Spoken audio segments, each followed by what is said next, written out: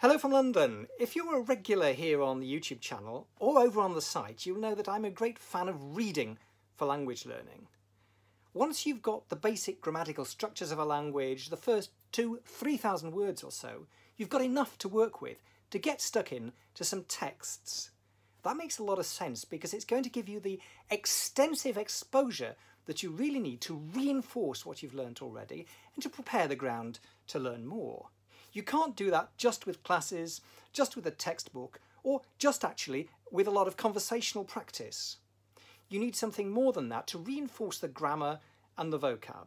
And if you do a lot of reading, what you find is you'll actually start to pick up new phrases and expressions. And that's easier because the new words that you, that you come across, the new structures, will come in context. So you'll be exposed to natural chunks of language being such a fan of reading then, I was really pleased when Olly Richards and Teach Yourself asked me to take part in the Festival of Reading that's happening all over YouTube this month. Olly's just published a series of six books which provide uh, reading material for uh, upper beginners and lower intermediate learners. I'm going to read in a minute out of the German one, but there are also a uh, series of short, short stories in Russian, French, Spanish, Italian and English, so six books altogether, and I've put the links to them uh, under this video. Now, I'm not getting a cut out of this or anything, I just think these are really useful resources for you when you're at that sort of level and you're looking for material to read. Now, in these volumes, and I think they all follow the same structure, there are seven short stories.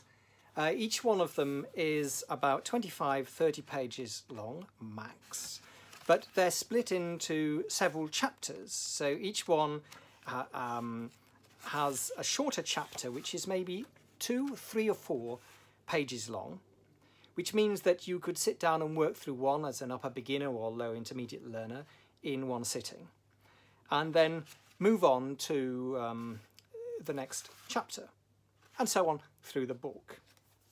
Now, I'll talk a bit more about how uh, the books are laid out and what other resources there are in here once I've done a short reading.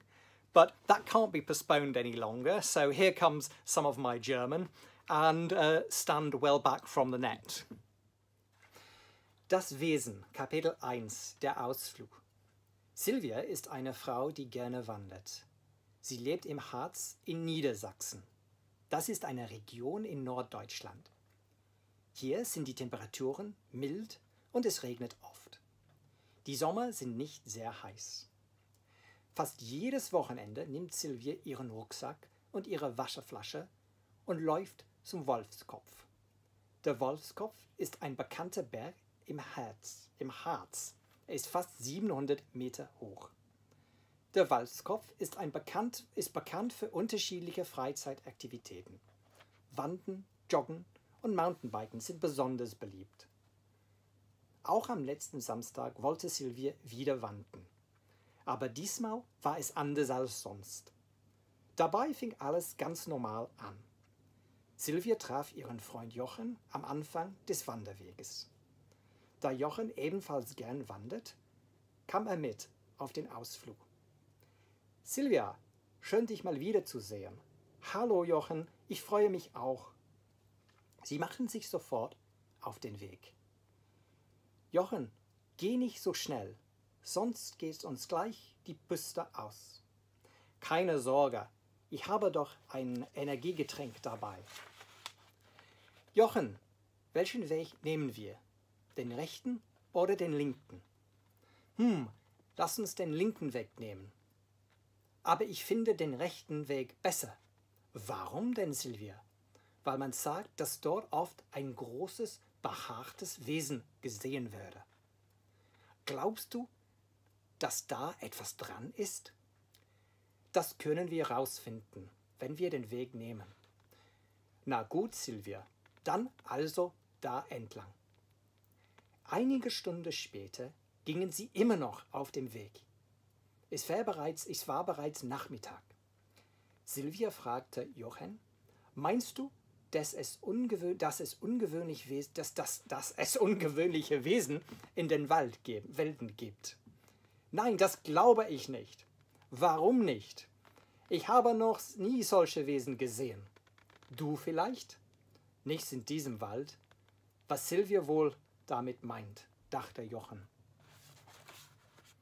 One of the ways to get the most bang for your buck out of reading is to make it not just passive but uh, as interactive as possible. Uh, one way you can do this is by what's called elaboration, starting to think and try and personalize uh, the, the text. And one way you can do this before you start is by using the pictures which there are in the book.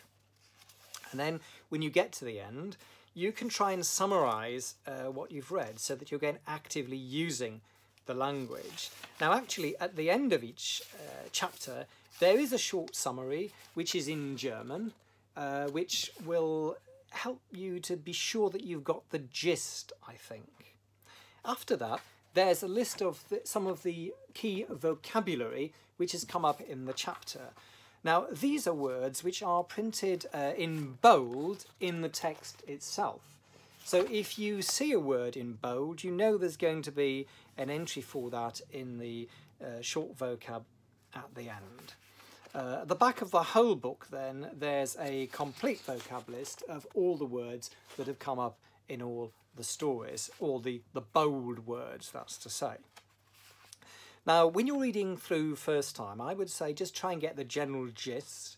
And I wouldn't, you know, stop the flow for individual words. You may find that you, as you go further, you work out what they actually meant, particularly with a word like from the section that I read, Freizeitaktivitäten, and one of the beauties of German is that the long words are often made up of short words you probably know already. So free time activities, literally. Freizeit, you might know frei, you might know Zeit. And then you might work out that means leisure activities or free time activities. Energiegetränk's another one. Energy drink, uh, sort of international. You might have guessed that. Don't be afraid to guess the meanings. And then we've got ein großes, behaartes Wesen uh, a bit haired, literally, being, a hairy, furry monster, perhaps. Um, so, yeah, go for the, the flow first of all, and then you can work more intensively and try and pull the text apart, maybe, the second time round, once you're sure that you've got the gist. There are also some control questions at the end. So there are five questions to check that you um, you're understanding um, the flow of the text, and there are answers to those at the back. So there's a lot in these books, I think, uh, to enable you not only to get some passive input, something that you're going to enjoy, but then to get active with it too, so that you're really reinforcing from various angles your learning. So I'm going to leave you in suspense as to what happens with the hairy monster. Go easy on my German accent in the comments underneath. If you'd like to get hold of the German volume of short stories or one of the other languages, there are links underneath this video. There's also a link to the schedule of all the other readings which are taking place across YouTube this month. Thanks a lot for watching. Don't forget to subscribe for the vibe, think about a thumbs up, tickle that bell, and share or be square. Auf Wiedersehen!